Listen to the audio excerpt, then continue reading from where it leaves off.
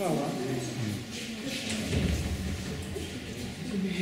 Szkoda kilometrów pojechać. To mnie jakoś nigdy nie zaniosło.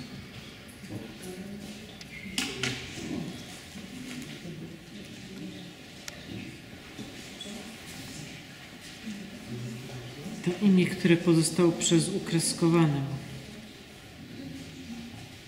Do 20 któregoś roku jeszcze Jakub się pisał przez ukreskowane.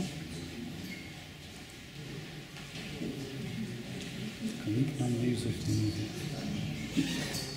No cóż, bywaj tam.